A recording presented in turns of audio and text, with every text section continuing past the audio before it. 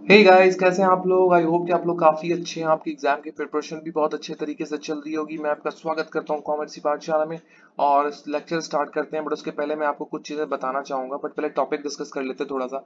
आज हम करने वाले हैं difference between NBFC non banking financial corporation and banks दोनों में क्या अंतर होता है? दोनों की जो एक्टिविटी होती है वो तो मोरलेस समान होती है, लेकिन फिर भी इसमें बहुत सारे डिफरेंसेस हैं जिसके बारे में हम बात करेंगे इस वीडियो में। पर उसके पहले मैं कुछ चीज़ें आपको बता दूँ। आप चाहें तो हमारे चैनल का एक्सक्लूसिव मेंबर बन सकते हैं। आपको करना क्या है? हमारे चैनल को सब्सक्राइब करना है बेल आइकन दबाना है और इस ज्वाइन वाले बटन के ऊपर क्लिक करके आपको इग्नो बीकॉम में जाना है। एक छोटा सा नॉमिनल सा फ़ी पेमेंट करके आप हमारे चैनल का मेंबर बन सकते हैं। पेमेंट करने के बाद आप यहाँ पे मोर अबाउट टॉक्स में आएँगे और यहाँ पे व्हाट्सएप लिंक के ऊपर क्लिक करके आप हमारे व्हाट्सएप ग्रुप को ज्वाइन कर लेंगे, जो कि एक्सक्लूसिवली इग्नू के बीकॉम के स्टूडेंट्स के लिए बनाया गया है।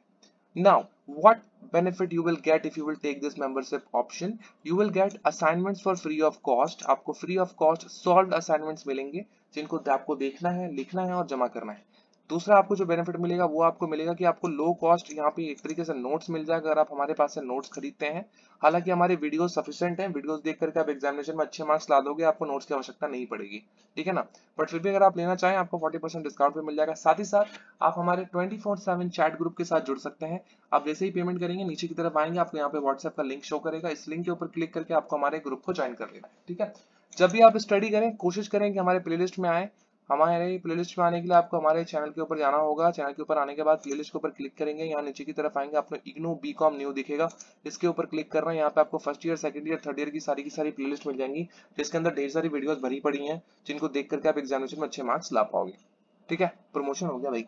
चलो फिर आगे टॉपिक की तरफ़ चलते हैं, जो कि है difference between the NBFC and banks तो सबसे पहला जो यहाँ पे डिफरेंस बताया गया है, वो ये है कि एक एनबीएफसी एक्सेप्ट नहीं कर सकते डिमांड डिपॉजिट अब देखो डिमांड डिपॉजिट का मतलब क्या होता है? डिमांड डिपॉजिट का मतलब होता है सेविंग्स अकाउंट सेविंग्स अकाउंट में जो आप पैसे जमा करते हो ना, पैसे डिपॉजिट करते हो, उसको यहाँ पे डिमांड डिपॉजिट बोला जा रहा है। It is like same thing but demand deposit यहाँ पे बोला जा रहा है। तो एनबीएफसी में आप जाकर के अपने पैसे डायरेक्टली जमा नहीं कर सकते, ना ही वहाँ से आप डायरेक्टली पैसे निकाल सकते हो। भाई, जमा ही नहीं कर सकते तो निकालेंगे कहाँ से? है ना? तो ये आप नहीं कर सकते। Demand deposit mean savings account और करंट अकाउंट देखो करंट अकाउंट को भी यहाँ पे मेंशन किया गया। करंट अकाउंट जनरली बिजनेसमैन के लिए होता है।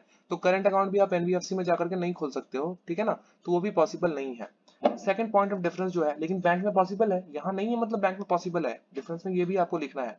दूसरा पॉइंट है it is not a part of the payment and settlement payment system which includes clearing houses services like facilities like NEFT, RTGS, IMPS आपने तीनों का नाम सुना होगा national electronic you know fund transfer real time gross settlement RTGS और IMPS Indian money payment system ऐसे कुछ करके है ठीक है ना?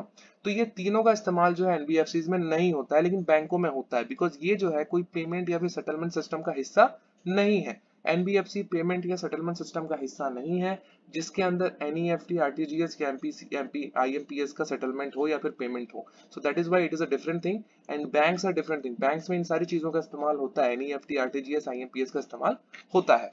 ठीक है ना? तीसरा पॉइंट है it can not issue cheque books to its customers अब एनबीएफसी का जो यू नो कस्टमर होगा ना, उनको आप चेक इशू नहीं कर सकते, क्योंकि आप बैंक तो हो नहीं भाई, कि आप अपने नाम पे चेक इशू करोगे, है ना? तो आप अपने कस्टमर्स को चेक भी इशू नहीं कर सकते because you are not a bank but bank at the same time they can do bank कर सकती हैं, ठीक है? डिफरेंस में आपको देखो, यहाँ पे सिर्फ़ ना एनबीएफसी के बारे में बोला गया है। पता नहीं क्या दिक्कत है इन लोगों को। बैंक के बारे में बोला ही नहीं है। तो जो भी यहाँ पे बोला जा रहा है कि आप नहीं कर सकते हो बैंक वो सारी चीज़ें कर सकती है। तो आंसर को बड़ा करने के लिए ये पहला पैराग्राफ लिखना, उसके बाद फिर दूसरा पैराग्राफ लिखना कि भाई बैंक ये काम कर सकती है। एनबीएफसी नहीं कर सकती बैंक ये काम कर सकती है। Fourth point and the last point is The depositor, the, the deposit insurance facility of DICGC is not available for NBFC depositors as it is available to all the bank depositors. तो आपको पता है ना कि हर ATM card पे आपको insurance मिलता है हर बैंक अकाउंट पे आपको इंश्योरेंस मिलता है तो उस बैंक अकाउंट पे जो इंश्योरेंस मिलता है वो इंश्योरेंस जो है DICGC के तहत आपको प्रोवाइड किया जाता है तो NBFC के डिपॉजिटर्स को ये फैसिलिटी नहीं मिलती है एज बैंक के डिपॉजिटर्स को ये फैसिलिटी मिलती है। So these are the major four differences between the NBFCs and the banks I hope you have like this video अगर आपको पसंद आया है तो लाइक करें शेयर करें अपने दोस्तों के साथ सब्सक्राइब करें हमारे चैनल को और बेल आइकन दबा दें। अगर आपको किसी टॉपिक के ऊपर वीडियो बनवाना है जो कि स्पेशली मेंबर्स के लिए है वो भी कर सकते हैं प्लस जो मेंबर नहीं है, वो भी ऑन डिमांड लेक्चर का फ़ायदा उठा सकते हैं। अगर आपको कोई वीडियो बनवाना है किसी टॉपिक के ऊपर तो आप कमेंट सेक्शन में मुझे टॉपिक मेंशन करें, मैं डेफिनेटली आपकी हेल्प करूँगा, उसके ऊपर मैं वीडियो बनाऊँगा, ताकि आपको एग्जामिनेशन में कोई दिक्कत ना हो। मिलते हैं अगले वीडियो में, अपना ख्याल रखो। Bye bye thank you